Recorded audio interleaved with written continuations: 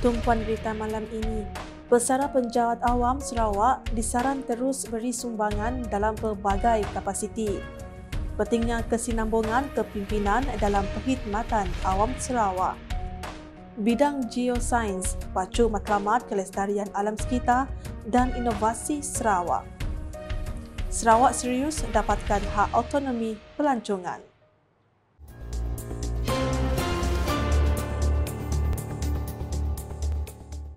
Assalamualaikum dan salam Sarawak Maju Makmur bersama saya, Hafizah Munirah Mahrab. Penjawat awam Sarawak yang telah bersara disaran agar terus memberi sumbangan berharga dalam pelbagai kapasiti dengan memanfaatkan pengalaman, kepakaran dan kebijaksanaan yang diperoleh sepanjang perkhidmatan mereka.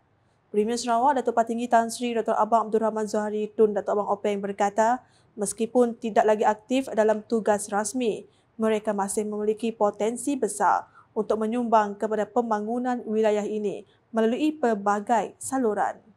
Menurutnya, pengalaman yang mereka miliki adalah aset yang tidak ternilai dan ia dapat terus memberi impak positif kepada masyarakat serta memperkukuh usaha bersama untuk mencapai kemajuan yang lebih gemilang bagi Sarawak.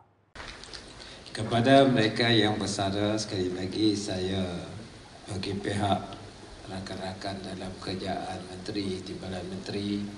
Saya mengucap banyak-banyak terima kasih di atas uh, perkhidmatan yang telah diberi. Dan saya ucapkan uh, selamat bersara. But I'm sure that you in a way or two indirectly or directly you will continue uh, to serve uh, the state in other capacity. Dan uh, saya ucapkan Moga-moga saudara akan dilindungi oleh Allah Subhanahu Wa Taala diberi kesihatan yang baik walaupun bersara tapi kesihatan yang baik dan terus uh, memberikan sumbangan kepada uh, negeri kita. Dan lebih-lebih lagi uh, menjadi contoh kepada mereka yang lagi masih berkhidmat dalam uh, uh, kerajaan civil service. Beliau berkata demikian ketika berucap menyempurnakan Majlis Sekalung Budi Perkhidmatan Awam Sarawak di Dewan Santapan Dewan Undangan Negeri Dun Sarawak pada Isnin. Pada majlis itu, seramai 12 pegawai-pegawai kanan kerajaan yang bersara pada 2023 dan 2024 diraikan. Antaranya ialah mantan setiausaha tetap Kementerian Industri Makanan, Komoditi dan Pembangunan Wilayah Sarawak, Datuk Edwin Abid, mantan pengarah unit pengurusan dan pembangunan sumber manusia Datuk Ismail Muhammad Hanis, mantan pengarah Jabatan Perkhidmatan Pembentungan Sarawak Datuk Insinyur Lau Hieng Ung, mantan setiausaha tetap Kementerian Pendidikan, Inovasi dan Pembangunan Bakat Sarawak Datuk Azmi Bujang serta mantan Timbalan Pengerusi Suruhanjaya Perkhidmatan Awam Negeri Sarawak Alexander Unya Ambon. Turut diraikan ialah mantan pengarah unit hak ehwal agama-agama lain, Datu Jack Aman Luat, mantan residen pentadbiran bahagian Miri, Jamali Busri, mantan pegawai daerah Marudi, Belayong Pok, mantan setiausaha tetap Kementerian Pengangkutan Sarawak, Datu Elis Jawad Empaling, mantan setiausaha tetap Kementerian Pembangunan Wanita, Kanak-kanak dan Kesejahteraan Komuniti Noriah Ahmad, mantan pegawai daerah Pantu, Langgong Wasam dan bekas pegawai daerah Pusa, Bujang Ladi. Datuk Patinggi Bazari turut menyampaikan cendera mata kepada kesemua pegawai besar tersebut sambil ditemani Timbalan Premier Sarawak Datuk Amar Profesor Dr. Sim Kuhian, Menteri Pendidikan, Inovasi dan Pembangunan Bakat Sarawak Datuk Sri Roland Sagahwiin, Menteri Pelancongan Industri Kreatif dan Seni Persembahan Sarawak Datuk Seri Abdul Karim Rahman Hamzah dan Setiausaha Kerajaan Sarawak Datuk Amar Muhammad Abu Bakar Mazuki. Hadir sama ialah Speaker Dun Sarawak Tan Sri Datuk Amar Muhammad Asfia Awan Nasar, Peguam Besar Sarawak Datuk Seri Safari Ali, Setiausaha Kewangan Sarawak Datuk Seri Wan Nizosman Wan Omar, Timbalan-Timbalan Menteri Sarawak, Timbalan Setiausaha Kerajaan Sarawak Perancangan, Ekonomi dan Pembangunan Datuk Seri Muhammad Abdullah Zaidil, Timbalan Setiausaha Kerajaan Sarawak Pentadbiran, Datuk Baklan Bangik, Timbalan Setiausaha Kerajaan Sarawak Operasi, Datuk Hicangki serta ketua-ketua jabatan yang lain. Terdahulu, Datuk Amar Muhammad Abu Bakar dalam ucapan aluan berkata, hubungan baik yang terus terjalin di antara pegawai-pegawai kanan Kerajaan Sarawak yang telah bersara dengan penjahat awam yang masih berkhidmat mencerminkan betapa pentingnya kesinambungan kepimpinan dalam Perkhidmatan Awam Sarawak SCS. Katanya persaraan bukanlah pengakhiran tetapi satu peralihan yang penting untuk memberi peluang kepada generasi muda mengambil alih tanggungjawab dengan penuh semangat, dedikasi dan daya saing dalam menjalankan tugas mereka demi kemajuan Sarawak. Menurut beliau, dengan adanya generasi baru yang berperanan aktif dalam perkhidmatan awam, Sarawak berada di landasan yang tepat untuk mencapai matlamat dan visi masa depan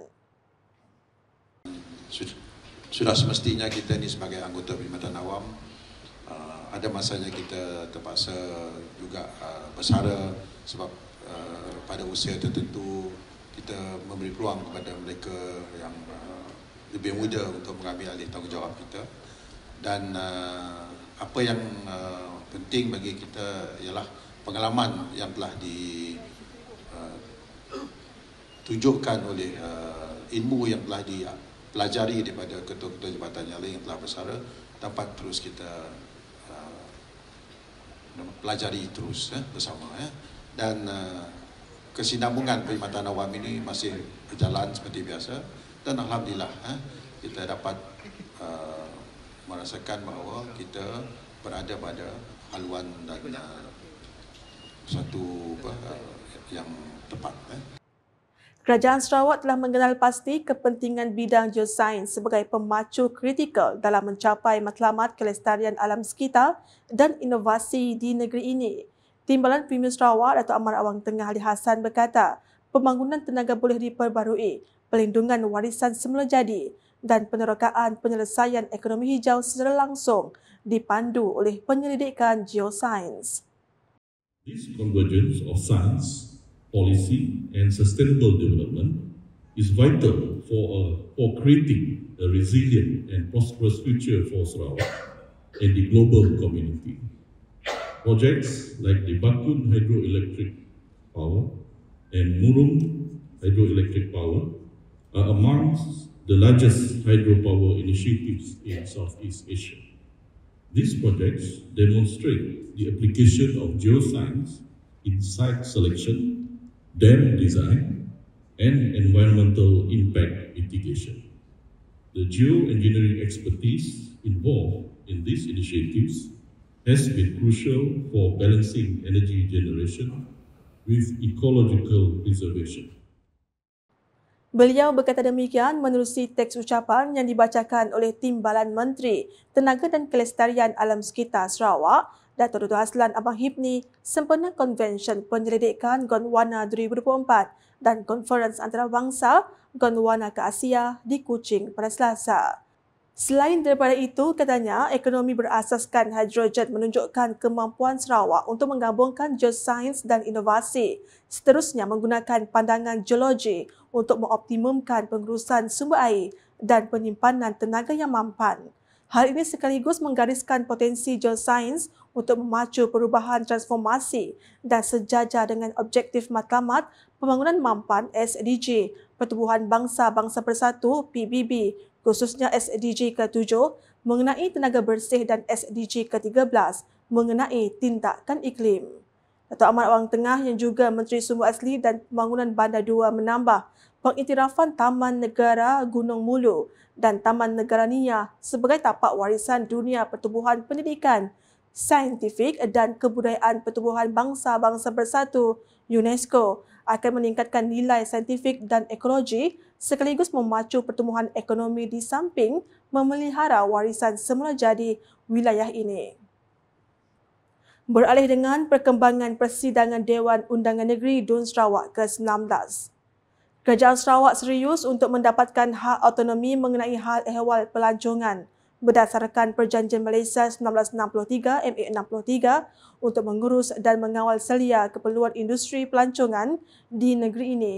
Menteri Pelancongan Industri Kreatif dan Seni Persembahan Sarawak, Datuk Seri Abdul Karim Rahman Hamzah berkata, kementeriannya akan terus berusaha untuk berhubung dengan Kementerian Pelancongan Seni dan Budaya MOTEK mengenai cadangan untuk meminda pelancongan dalam item 25A dari Senarai Persekutuan Senarai 1 ke Senarai Bersama Senarai 3 dalam jadual ke-9 Perlembagaan Persekutuan.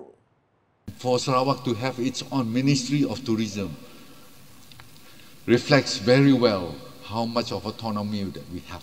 And even in promotion overseas, whether it's in ITB Berlin, whether it's in WTM United Kingdom or IMAX Frankfurt, we have our own pavilion to show that we are more or less quite autonomous, uh, very, very autonomous. Katanya semasa menggulung perbahasan bagi kementeriannya pada persidangan Dewan Undangan Negeri Dun Sarawak ke-19 pada Selasa. Tambahnya perkara ini sedang dalam perundingan sekarang dan digerakkan bersama dengan tuntutan-tuntutan lain yang dikemukakan termasuk tuntutan untuk satu per tiga kerusi parlimen untuk Sarawak dan Sabah. Tegas beliau, kementeriannya akan terus berusaha untuk mendapatkan hak mengenai hal ehwal pelancongan berdasarkan MA 63 dengan kerjasama Timbalan Menteri di Jabatan Pimpin Sarawak Undang-Undang MA63 dan Hubungan Negeri Persekutuan Datuk Sharifah Hasidah Said Aman Ghazali serta Jabatan Peguam Besar Sarawak. Sementara itu, Datuk Seri Abdul Karim berkata Sarawak optimis mencapai sasaran seramai 5 juta pengunjung pada tahun 2025 selaras dengan pemulihan penuh sektor pelancongan yang digariskan dalam strategi pembangunan pasca COVID-19 PCDS 2030. Beliau berkata sasaran tersebut akan turut menjana pendapatan pelancongan sebanyak 12.73 bilion ringgit seperti yang diumumkan oleh Premier Sarawak Datuk Patinggi Tan Sri Dr. Abang Abdul Rahman Zuhari Tun Datuk Abang Openg dalam Belanjawan Sarawak 2025. By Right Honourable Premier of Sarawak, in the recent 2025 budget speech, which would be able to generate, if there are 5 million visitors, it will be able to generate ringgit Malaysia 12.73 billion in tourism receipts. The tourism, tourism sector growth so far is in line with most of the goals outlined in the post-COVID-19 development strategy 2030 or PCDS 2030. Datuk Sri Abdul Karim menambah Sarawak telah mencatatkan seramai 3.98 juta pengunjung dari Januari hingga Oktober 2024 meningkat 25.03% berbanding tempoh sama pada 2023 yang merekodkan 3.18 juta pengunjung. Katanya lagi pelbagai acara bertaraf antarabangsa, acara pelancongan peringkat kebangsaan, persidangan dan mesyuarat telah menyumbang kepada pertumbuhan mendadak jumlah pelancong ke Sarawak. Program Grid Bekalan Air Sarawak bagi kawasan tumpuan melibatkan sebanyak 304 projek kini berada di fasa terakhir. Menteri Utiliti dan Telekomunikasi Sarawak Datuk Seri Julaihi Narawi berkata Daripada jumlah tersebut, sebanyak 269 projek atau 88% telah disiapkan, 27 projek sedang dalam pembinaan, manakala baki 8 projek lagi sedang dalam peringkat pra-kontrak dan akan dimulakan pada tahun hadapan. Menurutnya, projek utama yang telah disiapkan adalah menaik taraf loji rawatan air di Batu Kitang daripada 764 juta liter sehari kepada 868 juta liter sehari dengan kos 107.2 juta ringgit. Projek bekalan air yang merangkumi kerja-kerja pemasangan paip, pembinaan tangki air aras tinggi dan stesen pam penggalak dari kota Semerahan hingga ke Sebuyau termasuk Tambirat, Moyan, Asajaya, Semerak, Sadong Jaya, Sungai Buluh, Sungai Ladung, Sebangan dan Tebelu dengan kos projek berjumlah ringgit Malaysia 370.3 juta. Ketiga, projek pemasangan saluran paip air baharu dari bulatan junction ke tangki simpanan temadak dengan kos projek berjumlah ringgit Malaysia 26.6 juta ringgit. Keempat, projek membina loji rawatan air baharu terusan lawas berkapasiti 20 juta liter air sehari JLH dengan kos berjumlah ringgit Malaysia 33.3 juta. Ini telah meningkatkan reserve margin kepada 20%. Kelima, projek baik pulih sistem bekalan air di Matu dan Igan mukah dengan kos berjumlah ringgit Malaysia 65.3 juta dan yang tadi ke, uh, ya dan keenam projek bekalan air Sarik Serike dengan kos projek berjumlah ringgit Malaysia 9.9 juta. Beliau berkata demikian semasa menggulung perbahasan bagi kementeriannya dalam persidangan Dun Sarawak ke-19 pada Isnin. Sementara itu, beliau turut memaklumkan senarai projek utama yang sedang dalam pembinaannya antaranya seperti berikut.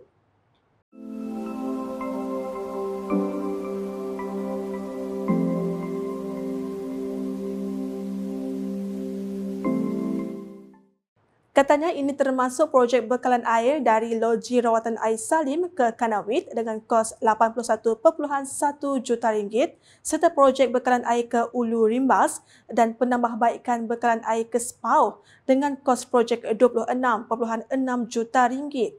Tambah Datuk Seri Julahi lagi, projek yang dijangka siap pada penghujung tahun ini pula adalah melibatkan naik taraf Loji Rawatan Air Bayung Sarike daripada 70 juta liter sehari kepada 100 juta liter sehari dengan kos berjumlah 68.6 juta ringgit penyambungan air bersih ke Sungai Teniku Miri dengan kos 6.9 juta ringgit dan sistem bekalan air Pulau Beruit berjumlah 84.4 juta ringgit.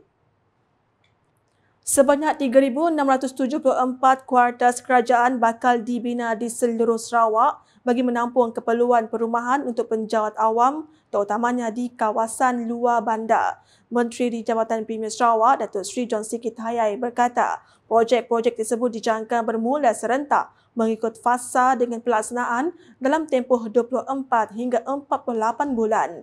Menurutnya, bagi daerah Darul dan daerah Bintulu, projek Service Quarters turut dimasukkan dalam senarai keutamaan dan dijangka bermula pada pertengahan tahun 2025.